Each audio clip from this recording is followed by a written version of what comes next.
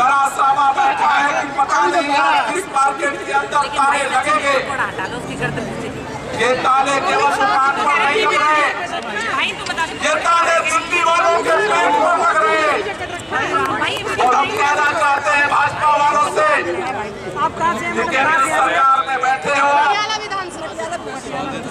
आप आज संसद शुरू हुए संसद के अंदर बिल और दिल्ली के कारोबार को बचाओ। अगर आप पार्लियामेंट के अंदर बिल नहीं लाते हो दिल्ली के व्यापार को ठप करना चाहते हो तो अगर तुम्हारे सीलिंग का अभियान जारी रहेगा तो हमारे आंदोलन का भी अभियान जारी रहेगा जब तक कि इस लड़ाई को आप बंद नहीं करते हो।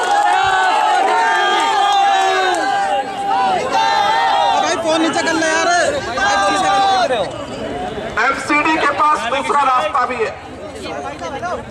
हमारे पार्षदों ने मांग किया था शनिवार को जब संयुक्त सदन बैठा था एमसीडी का हमने कहा था कि कन्वर्जन चार्ज माफ़ करो। आज अगर कन्वर्जन चार्ज माफ़ कर दिया जाए आज अगर डीडीए एफआईआर बढ़ा दे तो कल से दिल्ली के अंदर सीलिंग बंद हो सकती है। फ़ोन क्या क्या कर कन्वर्जन चार्ज कौन माफ़ कर सकता है। नीचे कर लो थोड़ा सा। कन्वर्जन चार्ज एफसीडी और भाजपा माफ़ कर सकती है। नीचे नहीं हो सकता। एफआईआर कौन बढ़ा सकता है? यार वो गोपाल जी के पर्सनल फ़ोन से बना रहा और है भाजपा उधर बढ़ा कर लो। आज भाजपा पूरे दिल्ली के अंदर लोगों को गुमराह कर रही है। मैं आज कहना चाहता हूँ है। कि अगर भाजपा के लोगों ने कन्वर्जन चार्ज माफ़ नहीं किया। अगर एफआईआर नहीं बढ़ाया तो हमारा आंदोलन जो चल रहा है वो जारी रहेगा। कल से दिल्ली के व्यापारी चांदनी चौक में भूख हड़ताल पर बैठ रहे हैं। सीलिंग के खिलाफ जो व्यापारी कल से भूख हड़ताल पर बैठने जा रहे हैं चांदनी चौक में। आम आदमी पार्टी उनकी इस लड़ाई में समर्थन देगी और उनके साथ खड़ा होकर के उनके आंदोलन को मज़बूत करेगी। अगर अगर फिर भी भाजपा नहीं मानती है तो तेईस तारीख को हमने बंद का कॉल दिया था। अगर भाजपा नहीं मानती है तो दोबारा दिल्ली के को बंद करने की तरफ़ हमें मजबूरी में आगे बढ़ना पड़ेगा। हम भाजपा के लोगों से कहना चाहते हैं कि आप लोगों को झूठ बोलना बंद करिए। सीलिंग पर रोक लगाने के लिए कन्वर्जन चार्ज माफ़ करिए।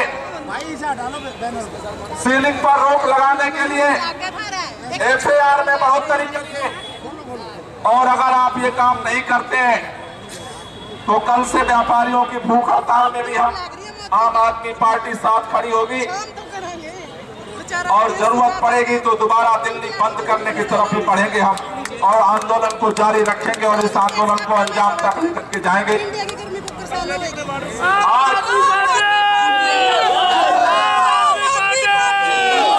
आज हमारी पार्टी के विधायक एलजी साहब से भी मिलने जा रहे हैं। क्योंकि जो एफआईआर बढ़ाने का काम है डीडीए के केंद्र सरकार की तरफ़ से मालिक एलजी साहब भी है। हम उनके दरवाजे पर भी जा रहे हैं कि इस एफआईआर को बढ़ाया जाए। आज सदन चल रहा है।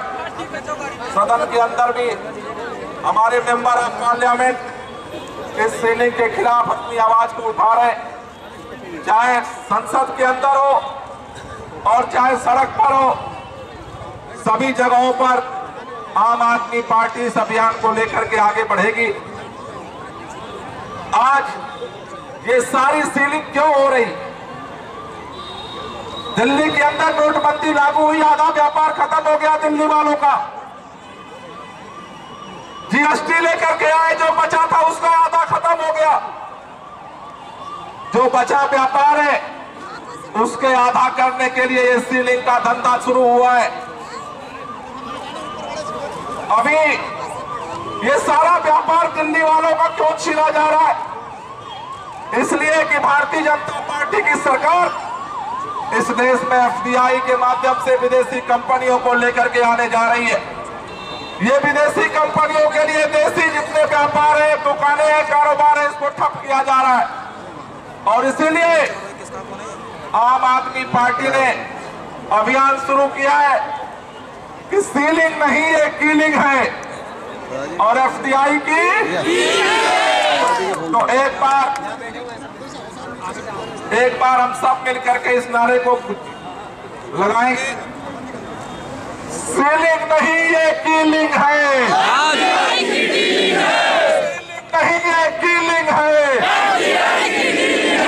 सीलिंग नहीं ये कीलिंग है।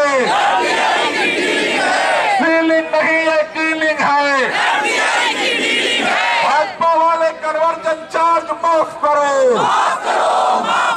भाजपा वालों कन्वर्जन चार्ज माफ़ करो। भाजपा आई। भाजपा आई। भाजपा आई। भाजपा आई। साथियों जैसा कि हमारा पूर्व घोषित कार्यक्रम था मैं सभी माननीय विधायकों से निवेदन करना चाहता हूँ हमारे संगठन के जो पदाधिकारी हैं ज़िले से उनके निवेदन करना चाहता हूँ, कि वो आगे आ जाए। और यहाँ से हम लोग संसद मार्च की तरफ़, संसद की तरफ़ हम मार्च करेंगे। और अगर ज़रूरत पड़ती है तो गिरफ्तारी देंगे।